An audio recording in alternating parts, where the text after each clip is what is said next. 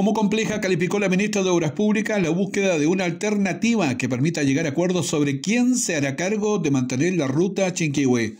La secretaria de Estado en su reciente visita a la zona dijo que las características que tiene la vía hacen más difícil la búsqueda de una alternativa.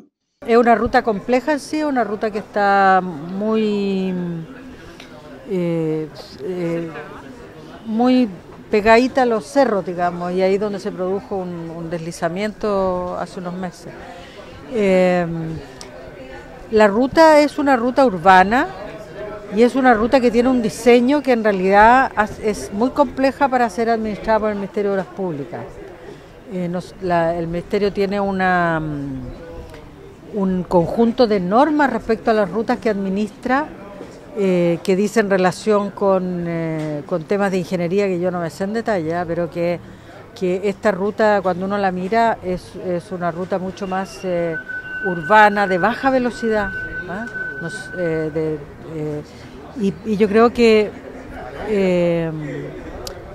lo que tenemos que hacer es hacer algunos estudios que nos permitan tener más datos.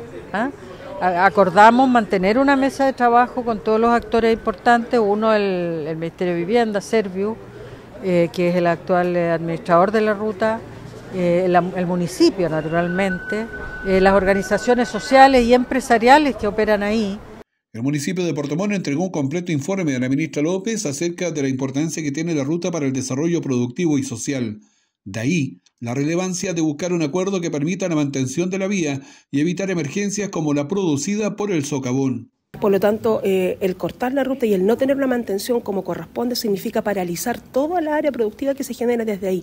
Tenemos el puerto más importante de la región y la carga y sobrecarga que se genera a través del transporte privado y el transporte público, ¿cierto? Hace que obligatoriamente tengamos que colocar como urgencia en los distintos ministerios la necesidad urgente de poder mantener esa ruta o eh, mejorar o generar condiciones para que eso pueda ser restaurado. Así que esa es la puesta en escena hoy día. Tuvimos la oportunidad de decírselo a la ministra de Obras Públicas y poder plantearle a ella la necesidad que vivimos de manera permanente. Las familias que habitan en el sector han padecido los efectos y consecuencias de los cortes que ha tenido la ruta Chinquihue, por lo que se suman al llamado de buscar un rápido acuerdo para la conservación del tramo. Eh, la verdad de las cosas es que quedamos bien contentos. La ministra se tomó un tiempo para analizar el estado de nuestra ruta Chinquihue, que somos nosotros los vecinos usuarios del día a día.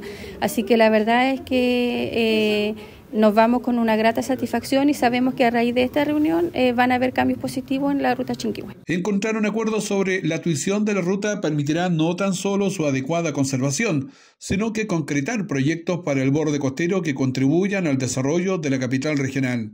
Una ruta importante para la actividad económica que tiene también el territorio de Puerto Montt, la comuna de Puerto actividad eh, que permite conectar también al territorio insular, por lo tanto hay que avanzar en infraestructura portuaria, tanto para Isla Tenglo como para Isla Mayen, y por lo tanto tener una ruta que vuelva a tuición de vialidad es importante para nosotros por la capacidad de respuesta y la cantidad de recursos que tiene eh, la Dirección de Obras Públicas para hacer frente a eventos que pudieran volver a ocurrir en la ruta.